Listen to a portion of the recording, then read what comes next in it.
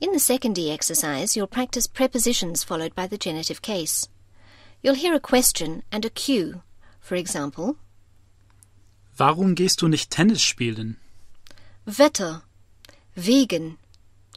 You'll respond. Wegen des Wetters. You don't have to make full sentence answers. Let's start. Warum gehst du nicht Tennis spielen? Wetter, wegen.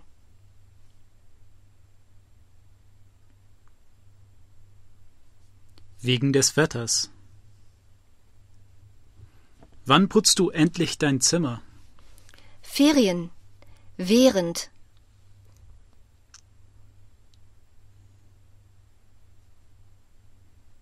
Während der Ferien. Willst du wirklich fahren? Ja, Regen, trotz.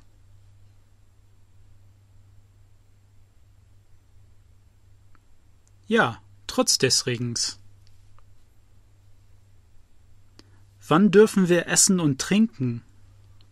Pause, während.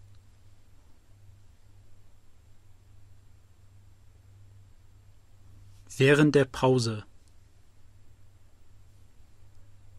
Warum rauchst du nicht mehr? Meine Freundin, wegen.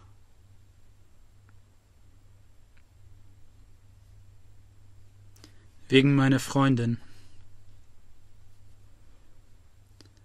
Warum bleibt er zu Hause?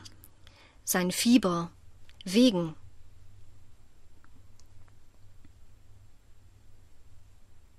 Wegen seines Fiebers.